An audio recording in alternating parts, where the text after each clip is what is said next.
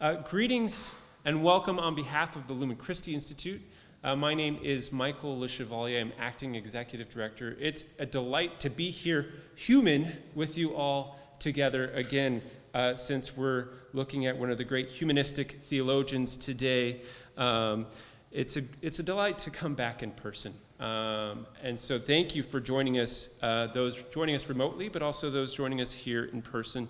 Um, uh, but especially to be bringing before you today um, a celebration of a work by Father Stephen Brock, uh, who, of course, not only is a regular fixture teaching here at the University of Chicago um, and a regular part of our own weekly, an expert participant, not, not leader or teacher, but excellent participant, expert participant in our weekly Thomas Aquinas reading group. Um, but also since 2014, uh, Father Brock has been helping Lumen Christi teach the teachers uh, through our Catholic Scholars Program, uh, through our week long intensive seminars that take place during the summer um, on various topics and themes within Aquinas' thought. Um, I had the great privilege of participating in one of those seminars with Father Brock uh, in Rome uh, in 2015. Uh, and uh, it's a delight to, to have him continue to form students so that we can ensure um, that students can, can, go on become those living dialogue partners of the Catholic intellectual trans- tradition, transmitting it to wherever they get hired. Um, before turning it over to Stephen Waldorf for a fuller introduction of our panel, I also just want to call attention to two upcoming programs that we have. Um, in two weeks, on Thursday, April 28th, we will be hosting Brian Patrick McGuire, um, an expert in Cistercian thought um, and the thought of Bernard of Clairvaux, uh, who will be presenting um, on his new book, Bernard of Clairvaux, An Inner Life. It's really the first critical biography of Clairvaux that has, taken, that has been produced in over 100 years. Um, so please join us here, um, either virtually or here in person uh, in two weeks. Um, that program actually will be uh, co-sponsored as well by the Martin Marty Center, um, and the Bollandist Society. Uh, if you're unfamiliar with the Bollandist Society, they've been around for 450 years, um, collecting the lives of saints and engaging with them critically. Uh, the subsequent day will be hosting a masterclass on friendship and monastic communities, also led by Brian Patrick McGuire. Um, you can find details for all of these events on our website. Um, we're able to hold events like these for free for students like you and faculty and staff, but also for our online audience uh, because of our various institutional partners and our donors. Um, I am grateful to Wipf Stock Publishers, the Department of History at the University of Chicago, and the Seminary Co-op Bookstore um, for helping um, produce today's event, for helping to make it successful. Um, I'm also grateful to all of our donors.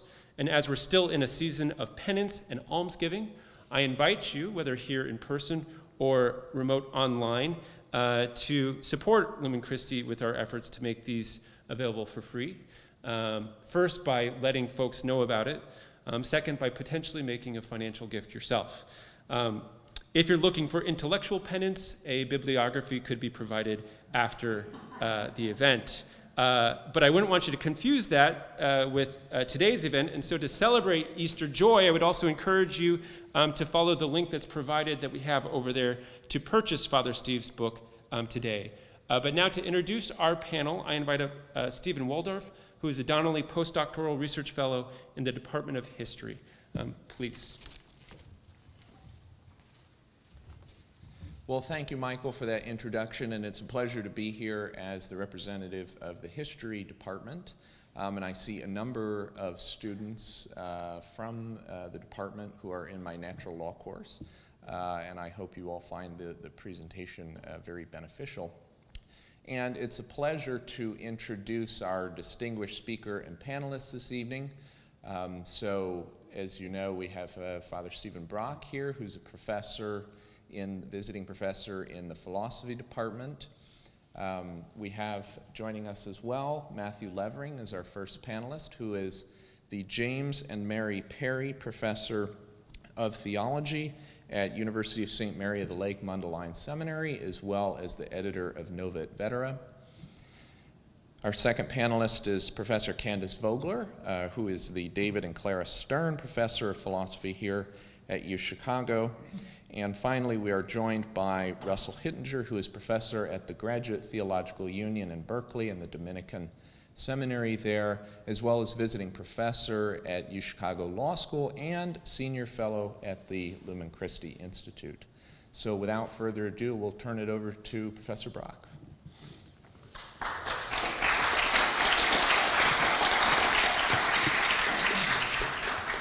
Well, thank you very much, Michael and Stephen. And thanks to the Lumen Christi Institute and also the History Department for organizing this event. Of course, I also want to give my heartfelt thanks to the distinguished members of the panel, hmm, friends, and I'm really looking forward to your comments afterwards. And thank everyone for coming. Now, I'm supposed to say a few words sort of about the drift of, of the book. I've written out some things because otherwise I could go on sort of indefinitely, but I'll try to keep them short. Leo Strauss once offered what I think is a pretty good first informal description of natural law. He called it, quote, the principles on which honest men act and have acted and will act as long as there are men. I might want to tweak that just a little bit, you know, but I think it pretty well captures what we could call the, the content of natural law. It consists of the first universal principles of morality. However, as Strauss, I think, would have been among the very first to acknowledge, or maybe even to insist, his description doesn't really tell us why we should be calling those principles a law. By contrast, St. Thomas's famous account of natural law does tell us that. He calls it the participation in God's eternal law that is proper to the rational creature. Now, this, I argue that this is for Thomas, this is the formal definition of natural law. It's because those principles express dictates of the eternal governor of the world hmm, that they are a law. That's why they are a law. But now there's an objection that comes up immediately to this. If these principles are a law only because they are ordained by a divine lawgiver, can we really call them natural? Is it a natural law? Even if, as Thomas certainly holds, the natural light of our reason makes all of us understand those principles to be true. They're truths about good and evil, truths about right and wrong. Hmm? Is that enough for them to be functioning in a natural way as a law? Doesn't their functioning as God's law require that we, we understand them to be divinely instituted and divinely ordained, divinely promulgated? Thomas thinks that those principles are self evident to all of us.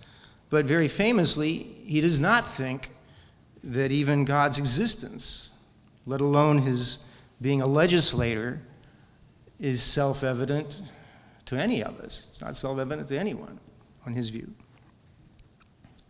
Now, some of Strauss's followers have, have suggested that on Thomas's account, natural law can really be known to be a law only by revelation and faith.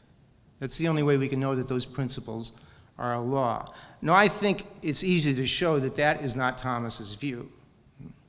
He really does think that the principles of morality function as a law in some kind of natural way, without even without revelation. But the question is, how exactly does that work? Now, a very prominent answer to that question, and one that's still adopted today by a number of serious readers of Aquinas, and it's is an answer given by that great Jesuit scholastic, Francisco Suarez. I'll try to sum it up just very, very briefly. Suarez's answer starts with God as the creator. God has brought human nature into being. He's brought us into being together with the natural light of our reason. There's an order of right and wrong in human action that, he says, follows necessarily on our nature. And our reason naturally grasps at least the general principles of that order. Moreover, he argues, God, in his wisdom and in his goodness, must have willed to relate to us not only as our creator, as the father of lights, as Suarez calls him, but also as a provident governor. And this will of God's to govern us can't but include his willing to make the natural order of right and wrong be properly obligatory in the manner of a true law. He wills that it be a law. Moreover, although the truths of God's existence and God's legislative activity aren't quite self evident to us, Suarez recognizes that, the natural light of reason can arrive at those truths quite easily, and in some real sense, then, naturally. If some people are ignorant of them, and so ignorant of natural law as a divine law, that's their own fault, Suarez says. They fail to exercise their reason about the world, about the cause of the world, in a way that reason itself inclines them to do. Now, I was never quite satisfied with Suarez's account here. It seems to me that there are some texts in St. Thomas that clearly Suarez's account just doesn't fit. But pinpointing the fundamental issue for me was, was not at all easy. In fact, I had not really found it, I think, when I submitted my doctoral thesis on this topic a long time ago. Now I think I have found the issue after about 30 years. So there's life after the doctorate, after all. Let me know that. Luckily.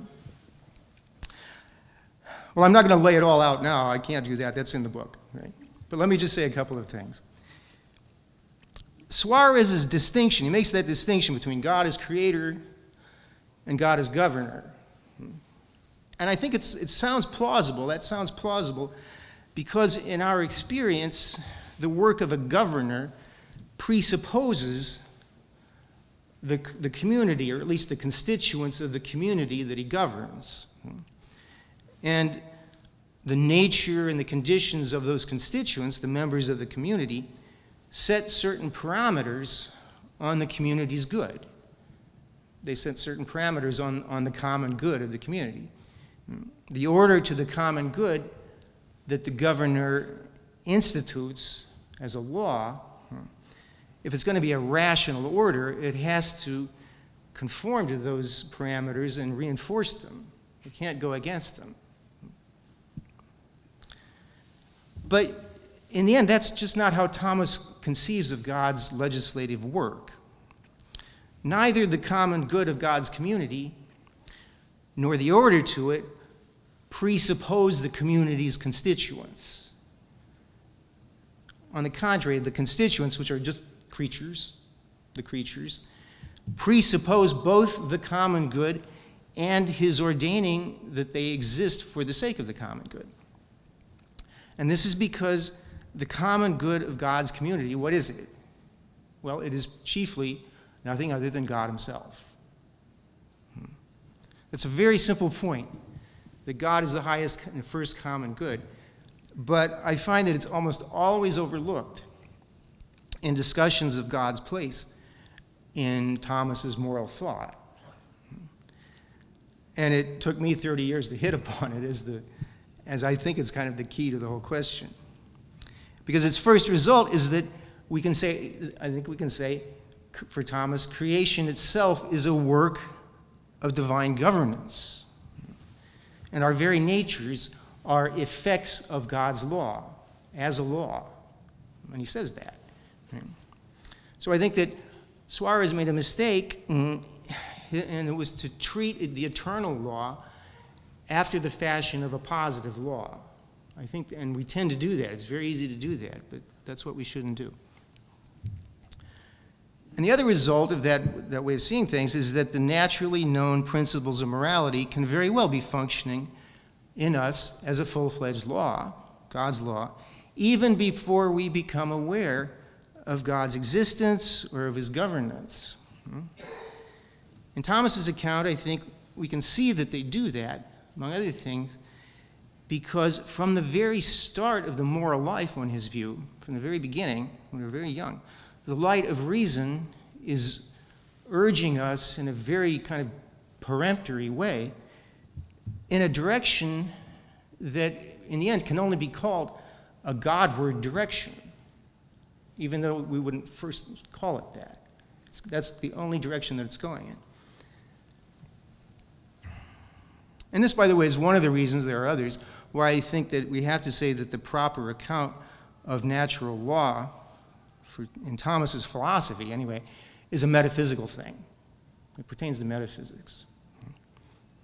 So that's really all I wanted to say. There were a, there were a few other issues uh, that the reading of Thomas, which I'm proposing, uh, had to address, a number of other smaller issues, how natural law relates to uh, Aristotle's natural right, how it's obligatory for us, especially how human nature, natural inclinations, natural things in general figure into the understanding of natural law.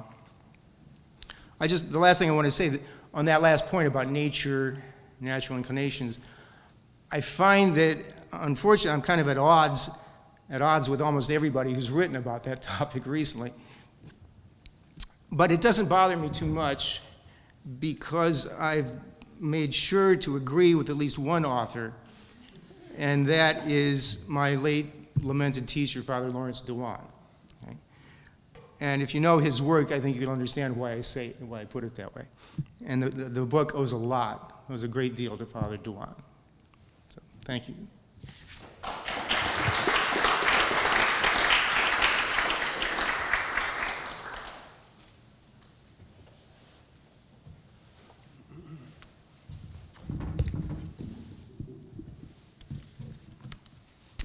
Okay, can, can you hear me? It's a tremendous honor to be here uh, speaking on Father Brock's uh, book. And I did have the pleasure of knowing Father Dewan also, so he, and truly an amazing man, and, and the book, he would love the book. Um, and I wish, I wish that, I wish I'd written on the natural inclinations, because that really is the heart, the, um, to me, the, uh, the most exciting part of, of the book. But instead, uh, uh, let, me, let me read to you just some, uh, something else that I wrote. In his 2016 study, Black Natural Law, the, the, theologian Vincent Lloyd argues the following The black natural law tradition addresses the same problems addressed by other natural law traditions, but it offers more coherent and compelling responses.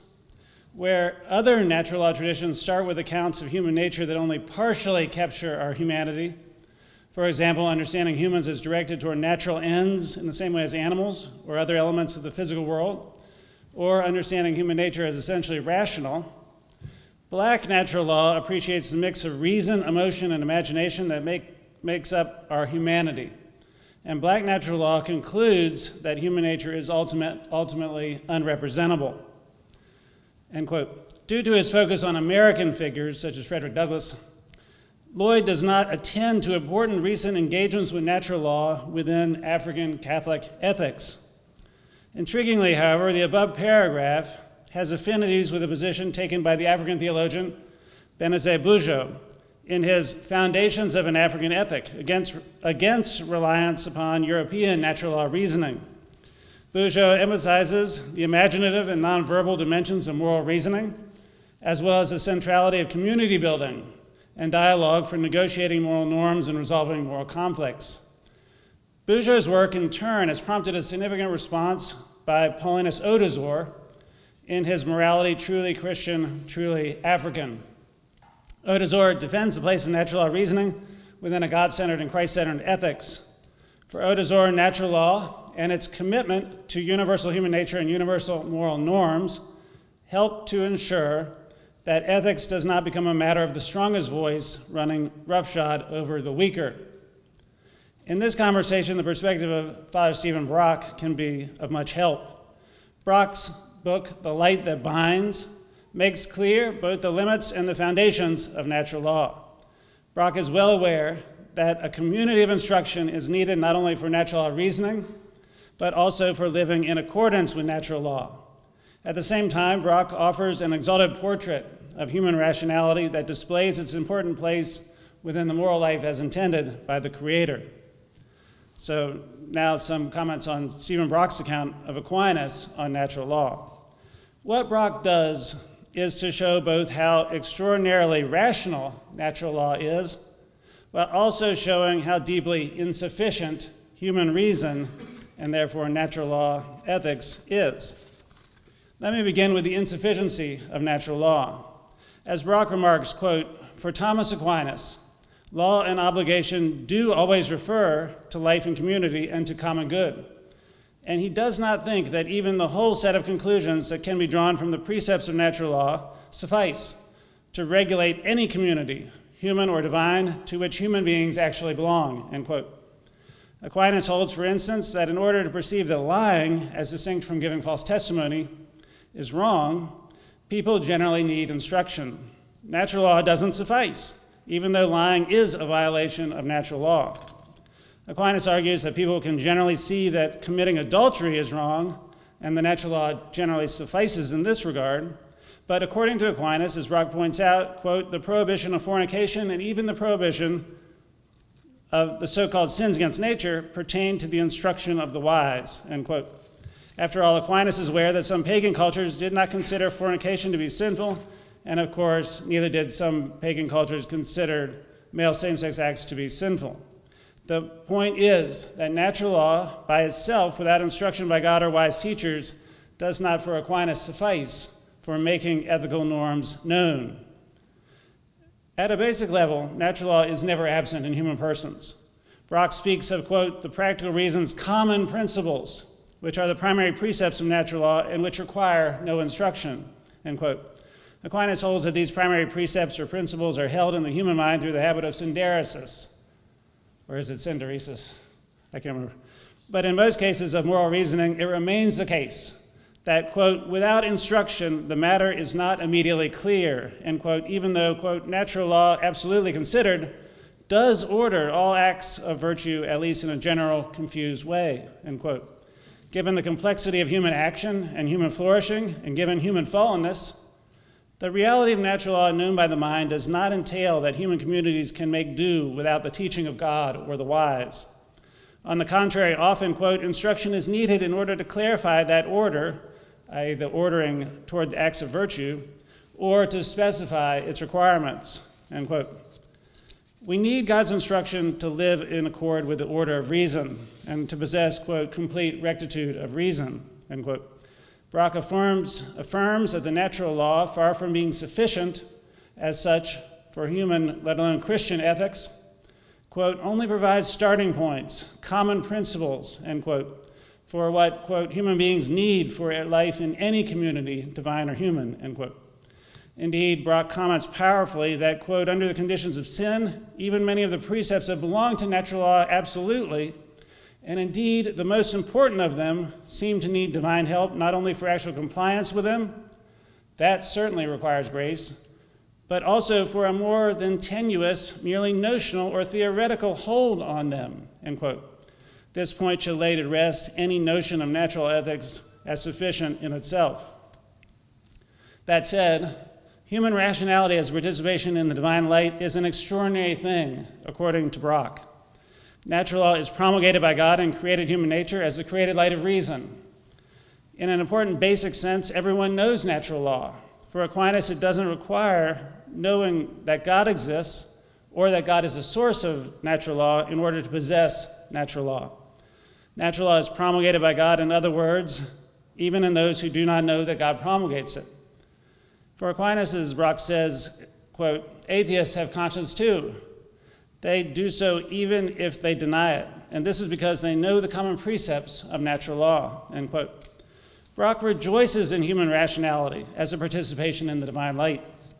As Brock makes clear, quote, it is God who promulgates natural law by instilling the light of reason into our minds and thereby making the law something that we naturally come to understand, end quote. Human reason is the source of natural law, but God is the prior and determinative source as creator. The fact that God is the ultimate source of natural law does not mean that natural law is not natural. On the contrary, natural law involves, quote, man's natural knowledge of the first principles of practical reason. These first principles are not revealed to human beings by God, but rather are known by human reason. Natural law has its authoritative force from God in one sense, but in another sense, the force of natural law is known by reason as such, because reason knows that the principles of natural law are true. Overall, Brock's account of the working of human reason and natural law is an exalted one. As Brock states in reflecting upon the mind's relation to non rational nature, quote, what human reason primarily imitates is divine reason. End quote. At the same time, his account of human rationality is refreshingly humble and down to earth. Natural law is earthly and insufficient. And yet, natural law is also a sign of the greatness and power of human rationality in all cultures. Thank you.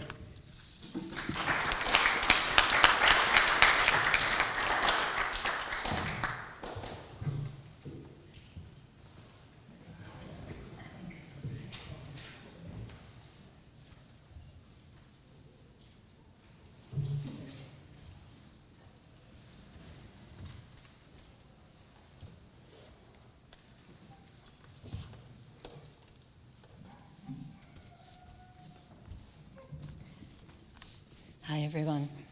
Um, it's a real honor to be here talking about this extraordinary book um, that I started preparing myself to read back when it was just uh, an available in PDF form online doctoral dissertation for many years. Um, and there's two really striking aspects of the book for me. Um, that were both of which were present in an earlier form in the dissertation. One is just the discussion of the legality of natural law and the sense in which the natural law is an ordinance of reason promulgated by someone who has care of the community, in this case, God. But what fascinates me the most is the discussion of the sense in which the law is promulgated in nature. And I find this still, sort of, even with the help of the book, a really difficult topic. Partly because, on the one hand, you've got this the exalted and to some extent abstract discussion of the sort of good toward which the natural law is directing us, which is God, which is beatitude, which is beatific union in a resurrected life. And that is the end, right, that we're directed toward by the divine light of reason in us. It's ultimately perfective of our nature. Good in general is tied up with an understanding of what per- perfects a being. So there's very abstract and exalted understandings. And then there's the very abstract first principle which tells us that good is to be pursued or promoted and evil is to be avoided, where evil is understood as a privation of some good. That's very abstract and very powerful, and may I'm I believe that it's actually a condition on the intelligibility of animal movement generally. um, and human movement in particular, that if you can't see um, a kind of creature moving toward something that is good or perfective for a creature of that kind, you don't understand what you're seeing. You can't I even identify the kind of creature in question as an individual instance of the kind of creature in question. All that is, I think, very powerful and true it is very hard to go from there to an understanding of the sense in which we actually become aware of the precepts in the course of leading an ordinary human life. Um, and I'm a great fan of the confused grasp of these things um, and feel like I have a better sense of the confused grasp than of the properly philosophical grasp. I mean, getting the two together can be sort of difficult. And the places where I go to begin to understand something about the confused grasp are on things like the way that small children actually acquire language through universal terms, not through particulars. It's very hard to actually acquire knowledge of a bare particular. It's really hard to know what that would even mean, right? Um, according to my mother in law, my husband's first word was rice. This was the name of a kind that included rice, cereal, pasta, potatoes, and bread. um, and so he would um, occasionally say, as a little, little guy, that what he wanted for breakfast was rice, which could mean toast or cereal or you know, potatoes with his eggs, any of these things, right? But it was, he, the mind was going toward a universal form, even before it could have articulated the concept involved. It was his parents who understood the concept that was being expressed, not, not, not Hank um, at three or something, right? So there's a, there's a part of the way, according to Father Brock's reading of Aquinas, that we acquire, that this stuff is promulgated for us in nature is in our basic understanding of the kinds of things around us, the kinds of beings, and their characteristic modes of activity and movement. And that is a first and confused understanding of the sense in which the end is good. that the good of the thing in question has the character of an end.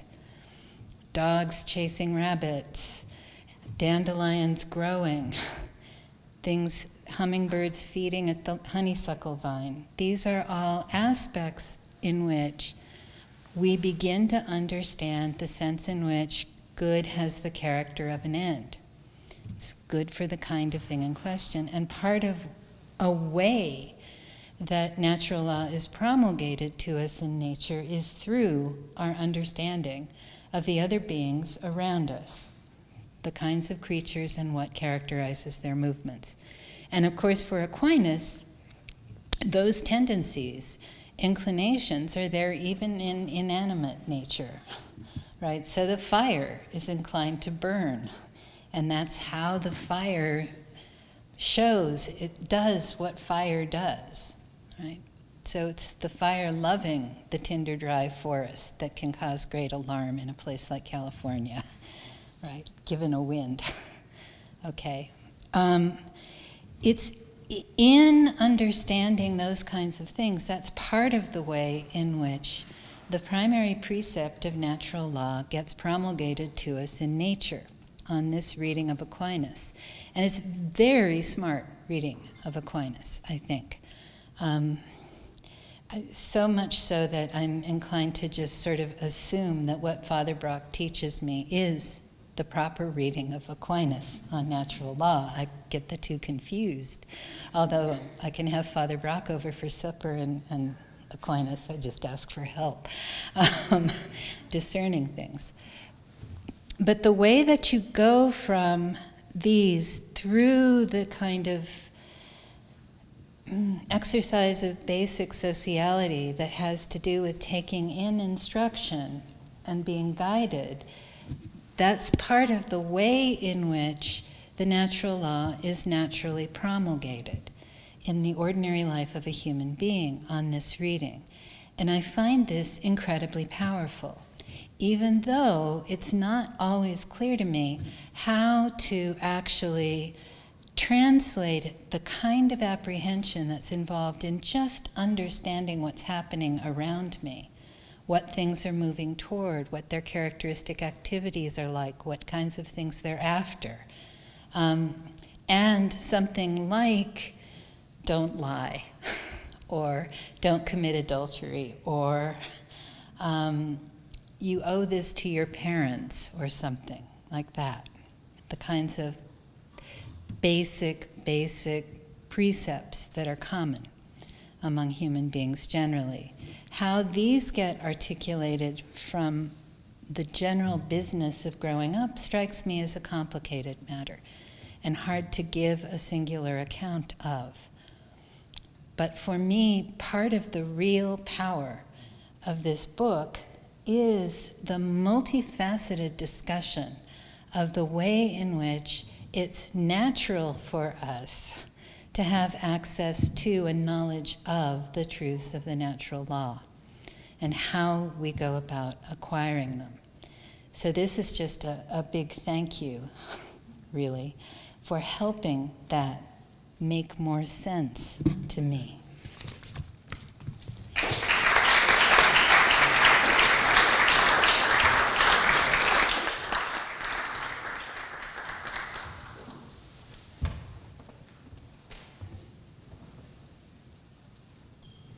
Michael, I'm dealing with a computer. Can I sit down? Uh, yeah, sure.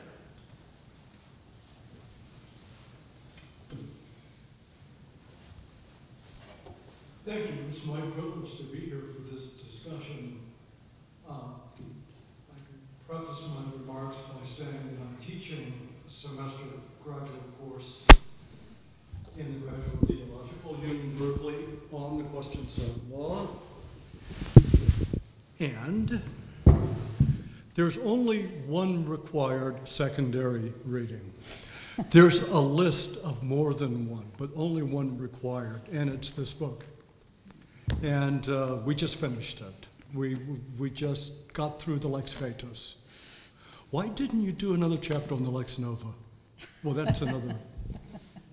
Uh, in, in my view, this is the most complete and coherent interpretation of natural law, at least as it's found in the Summa of Theology.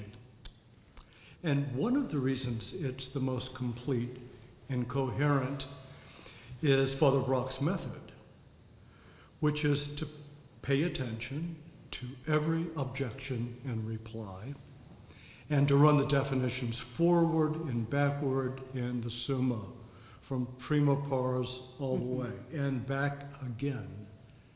And it turns out paying attention to objections and replies uh, is, lands him on the key insight. I'm not sure this is the one that took 30 years, but I've done it for 30 years and I never noticed it until it was in your book. Well, in question 90 of the Treatise on Law, Prima Secundae, that part of the Summa, uh, Thomas sets out to give not a merely nominal, but an essential definition of law. That is, an essential definition can be verified universally uh, in anything that's law, in whatever mode. And it has four uh, aspects. Law per- is, pertains to reason chiefly, presupposing the will, but the ratio of reason, without it, there's really nothing to will Yep. at least not in a legal fashion. Uh, that it's done for a common good. Doesn't, probably the prime example of that is political, but that one can be analogical. Uh, by a competent authority and promulgated. By the way, many, if not most, Thomistic commentators of the 20th century on question 90, which gives the essential definition of law, really don't pay attention to question 90 because I think it's supposed that question 90 is only a kind of definition um, key to human law and to human positive law, actually. Uh, but paying attention to that definition really does yield a fantastic insight, and let me call your attention to what it is and where it is. In that definition of law, Article 4 is on the topic of promulgation.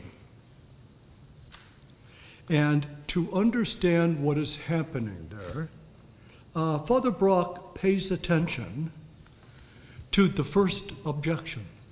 It's the first objection that yields the insight. Now, the objector wants to object that every law requires promulgation. And the objector makes two points. First, the natural law has the maximum of legality. That is, of any law that fits the definition, four points of the definition, natural law satisfies it the most. It fulfills the four criteria of law, and therefore, natural law needs no promulgation. That is, uh, promulgation is not one of the essential parts of law. And therefore, Thomas should only have three prongs or parts of law that it is uh, an act of reason, that it is for a common good and is made by competent authority, but it doesn't need to be promulgated. And now we turn to the reply to the objection. And Thomas affirms the first part of the objection. Uh, but of course, but of course, natural law has the maximum of legality, satisfying to the utmost and most clearly uh, uh, the, the, the four aspects of law. But uh, it is a promulgation. This is what Father Brock was just talking about. It's so successfully promulgated, instilled in, and moving the human intellect that it doesn't need another kind of promulgation, a more ordinary kind of promulgation. You know, like with a bullhorn or a sheet of do's and don'ts that you put up on the wall surrounding the town.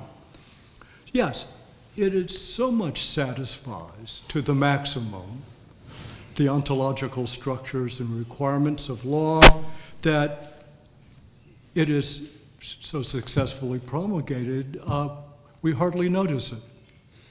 But it's there.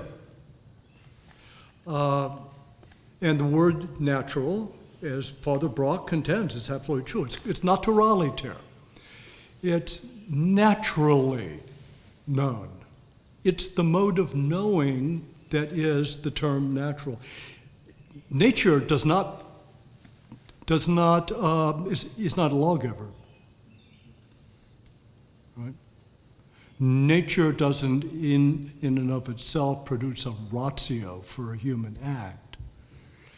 Natural comes from the way it's known, as being instilled in our minds.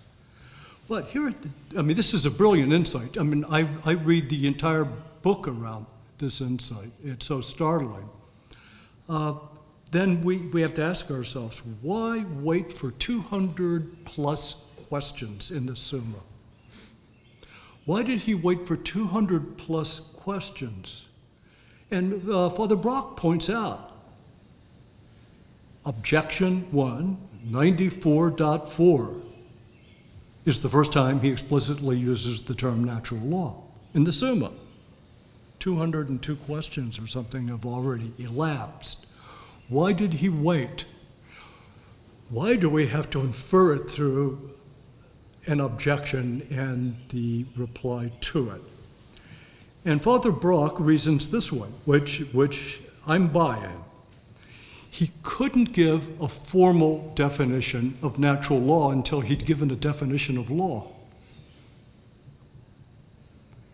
And so, in the fourth article of question 90 on promulgation, he concludes with the definition of law an act of reason, command for the common good, made by competent authority and promulgated. And the very next sentence is the reply. And he uses for the first time in the Summa the term natural law. In a way, the first yield of the essential definition is to affirm part of what the objector is saying. The formal definition, however, does not come until question 91, Article 2. Right, uh, that natural law is our participation in, in the eternal law. Uh, as I say, I've been teaching this for years, but I never paid attention to the first objection in, in question 90, uh, Article 4. Uh, Father Brock does pay attention to these things. Although one part of the brilliance of the book is his skill in kind of reassembling all of the factors that have to be put together. Uh, one other way he does this is in chapter 7 by paying, paying uh, attention to the lex vetus, the old law, which really does need to be understood by a natural lawyer. It's much neglected to the peril of the reader and the interpreter of this tradition.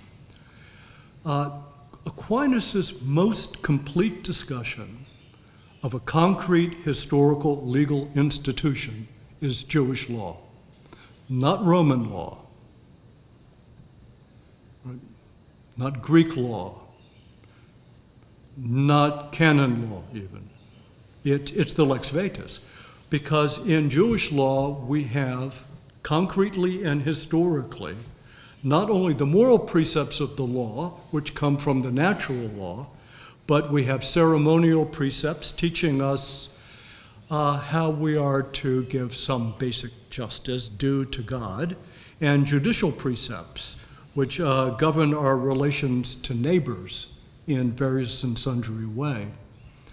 Uh, interestingly, it's in the Lex Vetus, especially in question 98 and then again in 100, that Aquinas actually gives his clearest understanding of the relationship between first precepts of natural law, uh, proximate conclusions drawn from them, and very distant type of conclusions. It's clearer in Lex Vetus than it is in Question 94. And one of the reasons I'm, i would propose that it's clearer, he's dealing with a concrete legal system, historical legal system and he can actually point to what they were doing and what the system was yielding. Uh, and, and, so here's something I would like to propose, or I would like the answer to. How are we supposed to teach this? Because I notice what makes the book so compelling is, uh, by the way, I didn't make a word count on this. But Father Brock surely quotes or cites as many or more passages elsewhere in the Summa than what is quoted or cited about questions 91 and 94. How, I mean, do you teach this in the same order that you've written the book, leaving chapter 1 out for a moment, beginning with chapter 2? How are we supposed to do it? I mean, what's, what's the secret method on doing this? Thank you, Steve. I, I very much enjoyed the book.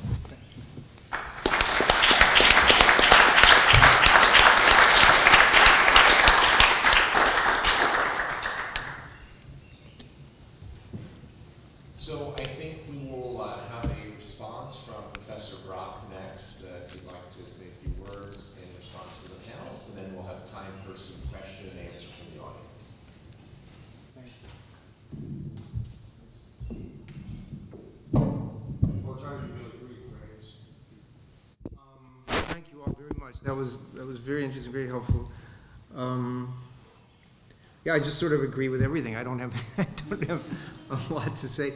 I think it is very important, Professor Lever- Levering, the, the, the, that idea. I, I'm, I'm glad it came out. I wasn't sure I'd stressed it enough. The natural law isn't a self-contained body of law for any community. It's just principles for any, any human community. But by itself, it doesn't suffice. It wouldn't even suffice um, without sin. Right? Certainly doesn't suffice with sin, in the, in the conditions of sin. Right? We need a lot of help besides what natural law gives us. But even without sin, because it only, if you dis, that distinction that Thomas makes between conclusions and determinations. There are pot, there are determinations according to the concrete circumstances that can't, just can't be deduced, right? They're, mm-hmm. they're not things you can deduce, that you can, you only have to look and see and apply the law to the, the particulars, and that's not a deduction, right? That's not a, a demonstration. So that's very important. So I'm, I'm, I thank you for bringing that out. Um, what Professor Vogler says, it's certainly true that Thomas, you know, Thomas is, um, as Father Dewan puts it in another context, Thomas tends to live in this kind of heaven of immobility, doesn't he? That, that he doesn't tell us much about how the, the process of the generation of our understanding of, the, of natural law or of principles generally. How do the principles of speculative reason come into our heads? And it's partly through the experience of natural things, it's partly through our sociality and talking and hearing. And he just doesn't, that wasn't his concern, really. And, and when he talks about what comes first and second, it's more in a structural sense. What's more general is prior to what's more particular. Prior in, in some kind of logical sense and causal sense, but not as a matter of the process. So that's kind of your job, I think, is to, is to, is to sort out how this actually happens. I, I don't think he's going to give us a lot more help, you know. But, um, and I thank you, Professor Hittinger, for the, the pointing out that I've, I've actually sort of forgotten about that. That objection really is important. You're right. It's pretty fundamental. Um, and why didn't I discuss the new law? You asked that very quickly. Yeah, I, I suppose I should have. There's not the, it doesn't, he doesn't really discuss natural law much within the context of his discussion of the new law. He does make a distinction there, which is, and I didn't, I didn't point this out, you know, and part of my, the discussion in the book is, is a kind of conversation with, as I mentioned briefly, some of the followers of Leo Strauss. And they make a big deal out of a distinction that comes up in later classes in between a, a mere lex indicans and a lex praecipiens. A lex that just sort of shows you what's right and wrong, but doesn't command you to do it. And lex and a law that does command you. But Thomas doesn't make that distinction. He has the word lex indicans. It shows up in the text section on the new law. That the new law, the the natural law, is a light that indicates what's right and wrong. But I think he would want to say it also commands. But the contrast is not between that and something that commands. It's between that and something that helps. Lex adjuvans. And, the new law is a lex adjuvans because it's primarily the grace of the Holy Spirit. That's what it is, chiefly, right? And that's the contrast. But I think I would just leave that to the theologians. That's, that's over my, that's, that's, that's over my head, how to sort out the relations. That's your job. More than, um, but as to how to teach this stuff, I've never actually taught this, so I don't have a, I don't, I, I don't have an answer to that question. I guess you just have to read the first, the first part and then the second part of the Summa. I suppose that's the way to do it. But in nine, in a nine-week quarter, you can't really do that, can you? So we'll have to figure out, I don't know what else to say about that. Okay, that's all, thank you.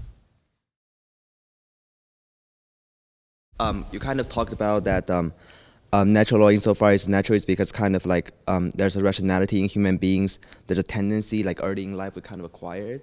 What if someone say that you know there are multiple tendencies that made us distinct from other, let's say animals or species. For example, someone could say you know we are uh, we we follow the moral code, or someone could say like we are like um, empathetic. I don't know. There's like a lot of I feel like there's a lot of room for interpretation here. I'm just wondering, does um, Aquinas offer any guidance in this subject? For Aquinas, what matters the most is that we're rational.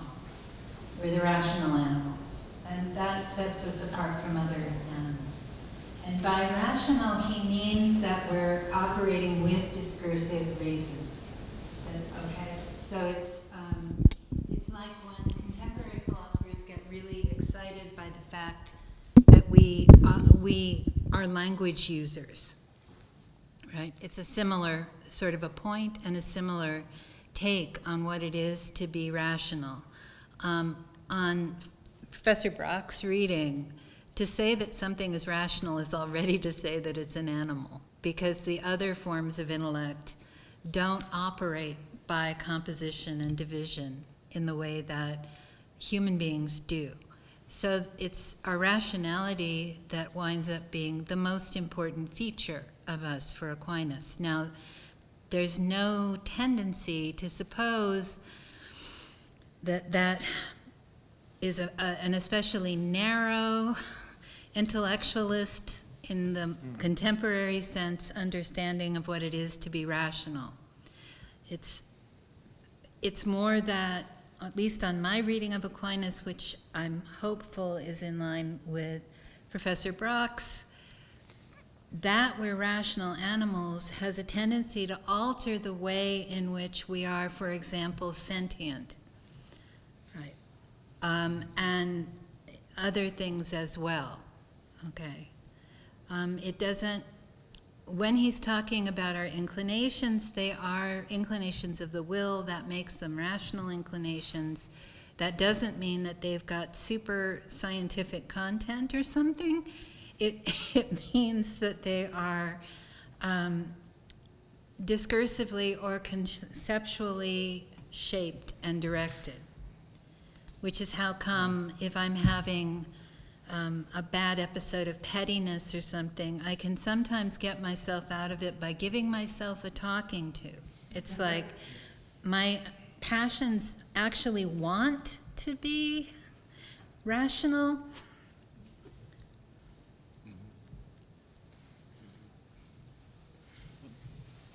I think just continuing on this subject, I believe that for St. Thomas, law is only in a mind.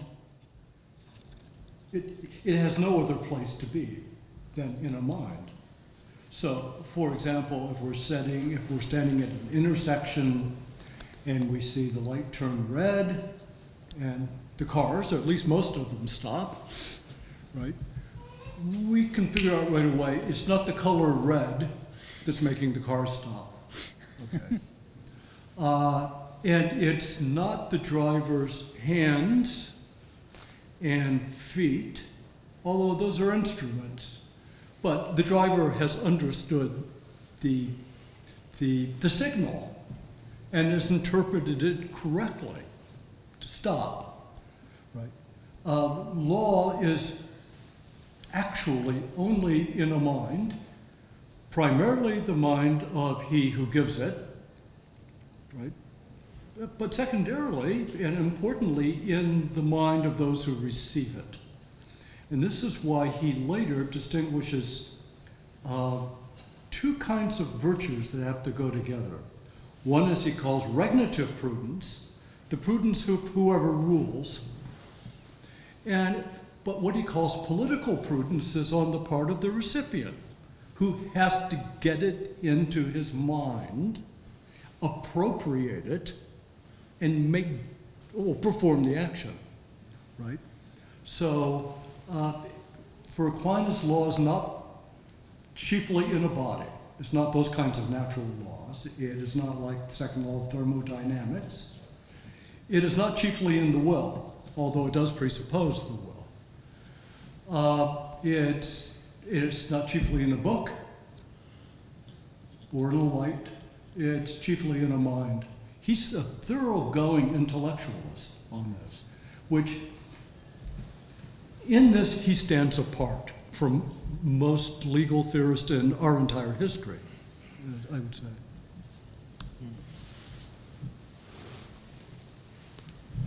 Yeah, if I can just add something to that. Um, yeah, thanks for the question. I think it's, that's, the, question of natural inclinations is really maybe the most contentious part of the book. I mean, I, I'd argue it against Suarez, but Suarez uh, was several centuries ago. And, mm, and the, the issue kind of revolves around what, the, the, what is certainly the most famous and most cited passage of the Summa on natural law, which is uh, Prima Secunda, question 94, article 2, right? which is long and it's a brilliant piece of work. Mm, but there's one sentence in it in which Thomas says that all the things to which man is naturally inclined, reason naturally apprehends as good, and therefore as to be sought in action, and the contraries of those things as bad and as to be avoided. And it's very easy to read that passage. In fact, I read it that passage until I, until I came across Father Dewan's view on the matter. I read that passage as saying that we have these inclinations, and as a result of these inclinations, reason judges the object of those inclinations to be good. And that's the way most people read it. But that just doesn't go through. That reading doesn't go through. It, it, it's fraught with problems. I, I listed a number of them in the book. Um, and I think if you read that article in the whole context, especially the, in light of the a prior article, the article in which Thomas shows the existence of a natural law in the first place, it turns out it's got to be the other way around for many reasons. Mm, that it's because reason understands certain, naturally understands certain, certain things to be good, that man is naturally inclined to them. Now, Thomas perfectly well is perfectly well aware that, there, that we have non-rational inclinations, inclinations we, that mm, are at work in us and that some of which we, ex we experience quite independently of reason's grasp of good and evil. And those, but those vary from person to person. Those are mostly inclinations that arise from our bodily dispositions, which are not inclinations of man as man, not, not inclinations common to the whole species. And he's very explicit, the inclinations common to the species, which is what he's talking about here, are those that derive from reason, those that derive from reason's understanding of good and evil. So it is very intellectualist, but as Candace is saying, it's not you have to have a very, you have to have a sort of a Thomistic understanding of intellect at the same time. That it's not simply for the good of reason, that is for the sake of truth. That is, that's certainly one of the goods, that's one of the main goods of the human being is truth. But it's not only for that, it's all the things that reason understands to be good for human beings, starting with our existence. But it's all those things under, that we tend toward through our understanding of them, and that is the, the tendencies of our will. And it's the understanding of them that makes those tendencies so strong. That it's intellectual inclination that's, that for Thomas is the strongest kind of inclination because it can, it can tend to, toward the good, the goods under, apprehended in, a, in what he calls a kind of absolute way, an unrestricted way.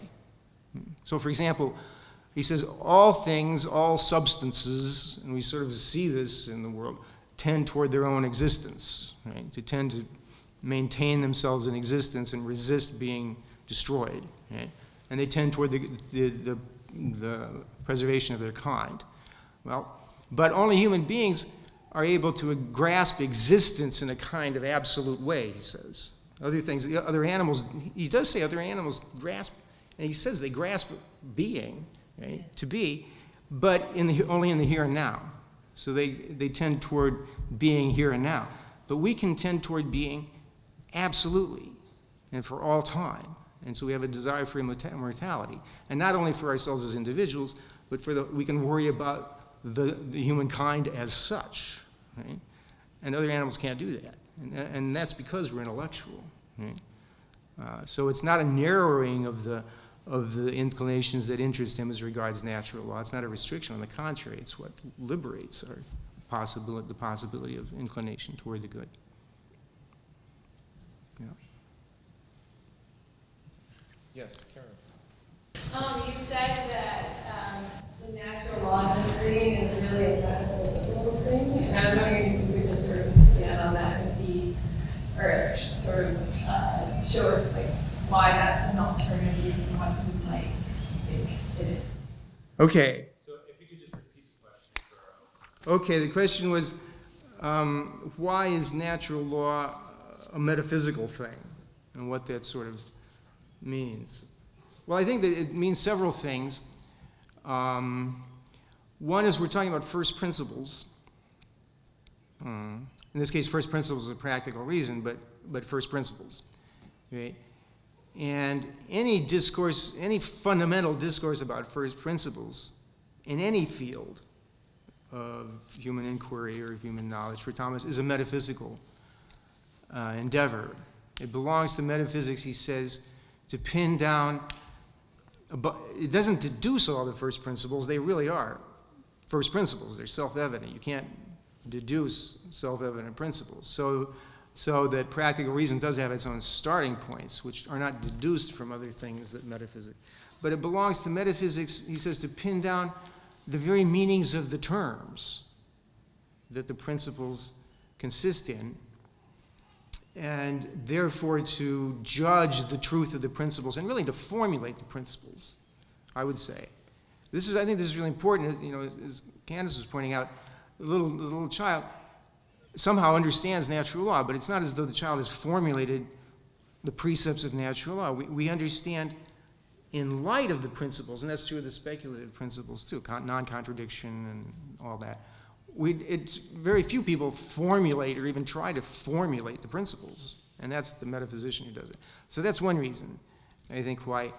And this is already kind of contentious. I mean, uh, and it gets it gets more so when you say that well for Thomas, um, the primary term that we had, that the metaphysician has to pin down here is the good, right? And, and there is such a thing for Thomas as the nature of the good. Right? There is what it is to be good, and that's very much a function of the natures, the natures of things, right, and the being of things. And in saying that, I'm kind of going very much against a, a, very prominent kind of understanding of natural law. It's called the new natural law theory. I don't know if you've heard of that. Well, it's okay. It doesn't. Um, which tries very much to divorce uh, natural law from any metaphysical commitments about the world or about being, or, and its practical reason functioning entirely on its own without being fed at all by the understanding of being or the understanding of truth or anything like. And really, I don't think that's Thomas at all, you know. And then, as I was saying, it, it's, it's metaphysical also because it's going. Here, I think we'd have to say this is kind of connected with the question with, the, the, with Strauss, the Straussians. The Straussians, I think, are right to say that there's a difference between Thomas's natural law and Aristotle's natural right. They insist on that difference, um, among other things, because Aristotle doesn't connect it with God. Right? He doesn't make it a law that's imposed on, it, uh, on us. Now, they see a kind of tension, you know, because um, Thomas's natural law seems a good deal more definite and as they would say, kind of rigid than Aristotle's natural right. That seems to be more flexible. I'm inclined to think that they make it a little too flexible, as though in an extreme circumstance you could do anything. I don't think Aristotle is saying that. In fact, I think he's clear he's not. He says, but it is true that Thomas's um, natural law is a good deal more rigorous, but it's a good deal more rigorous because and I think he understands that it's more rigorous than Aristotle's natural right, because Aristotle's natural right is a purely political thing. It's natural political justice, and Aristotle says that. Right? Whereas for Thomas, justice is only a part of morality, and in relation to God, all of morality is bumped up to the level of a law and something obligatory, and it's more demanding in relation to God. So it's, it, it's political, but it's more than political. And the, in the philosophical domain, I'd say the more is metaphysical, right? In that sense. Does that sort of, okay. Thank you. Yes. Uh, so I have a question from our online audience, Gaston Lenotre, um, and I'll, I'll, summarize this question down a bit. Uh, but basically says that uh, in a 2015 book, Steve Jensen um, identifies that uh, Aquinas's use of the natural inclination text, or that that particular text, uh, includes both concupiscible and irascible appetites, uh, and not just the intellectual appetites. So he asked, how do you handle this text? How do you respond to this thesis?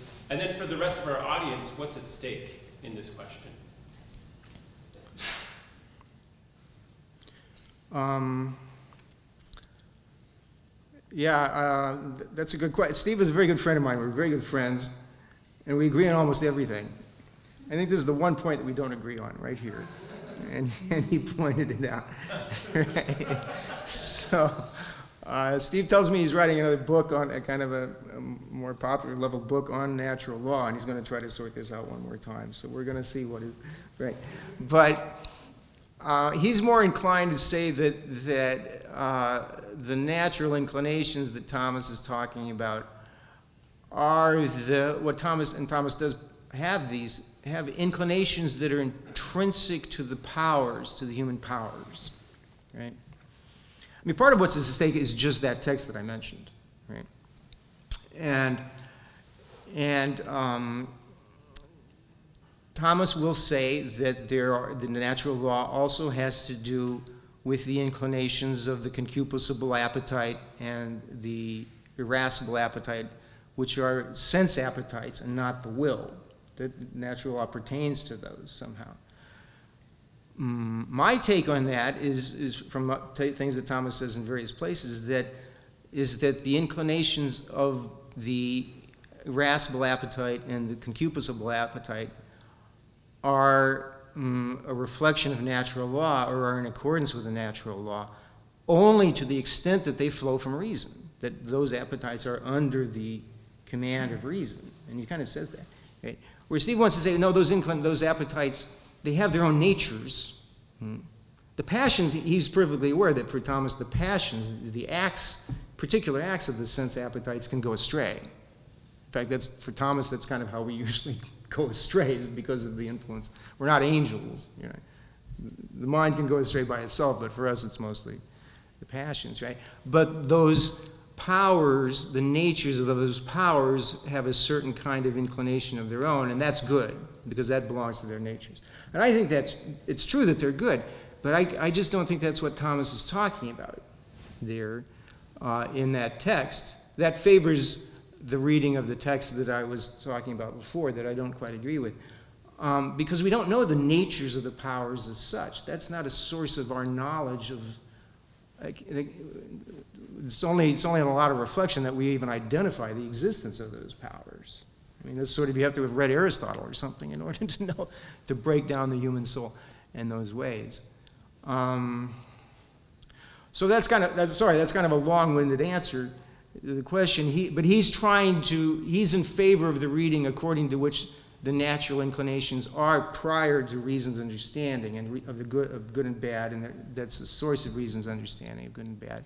And he's trying to find that in the the the very inclinations of the parts of our nature toward their objects which I grant that those inclinations exist, but I just don't see how that, that can function as the source of reason's understanding. So it's basically that. It's a very theoretical kind of issue, that's for sure. In practice, I think we come down to the same conclusions. Um, one way, perhaps, to get a hold of this is that is to suppose that Thomas, in question 94, Article 2, and indeed throughout the entire treatise on He's not. He's talking about an actus humanus. He's not talking about an actus hominis, Things that are just happening inside, inside us. So, for example, uh, is someone really irascible if they're sound asleep? Now we can see them, or maybe they're tumbling in a dream or something, right? Or are they really concupiscible just because completely knocked out they lick their lips because there's something sweet on it. I don't think that's what Thomas is talking about here.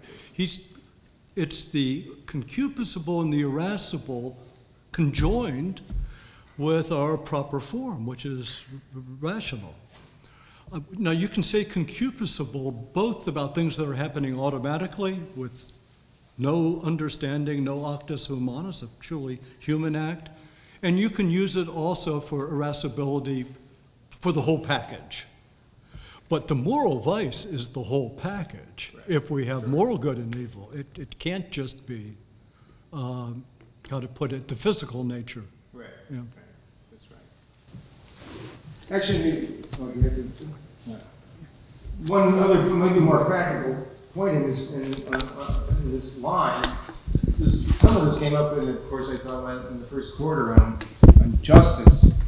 That when Thomas talks about punishment and uh, either in, general, in punishment in general or in a, for a particular individual who has to who reacts against wrongdoings to himself, and there's a virtue that has to do with what that's called what, what Thomas calls vindicatio, uh, which can't be translated as revenge because he thinks revenge is bad. but vindication or something like that, right? Um, and he says there's a natural inclination to this, to rise up against, uh, against attacks and against, against injuries and to, and to kind of fight back. There's a natural inclination in all things to do that, right? And reason, and that's why, that's why this is the basis for that, for the, the virtue of vindicatio and the basis for punishment. And, and a lot of people read him as saying, well, the basis, the real basis for our understanding for the need for punishment is the fact that we get angry. And that just can't be right, because there's a text very early in the Summa when Thomas talks about the same external action can be either an action of virtue or an action of vice, and he's talking about an act of punishment. It's an act of virtue if it proceeds from the desire for justice, and it's an act of vice if it proceeds from anger, and it's that you're only trying to satisfy your anger. That's vicious, right? So it can't be the sense appetite that's the source of the understanding here.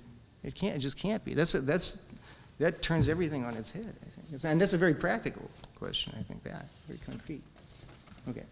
Well, uh, here at Lumen Christi, we are um, conscious that uh, certain irascible appetites have pushed some from the room, um, but also that we are fully embodied creatures, and so not only have our intellectual appetites been satisfied today, um, but hopefully at least some of our other appetites might be satisfied um, over wine, uh, cheese, uh, soda water, and, uh, uh, and cured meats over there.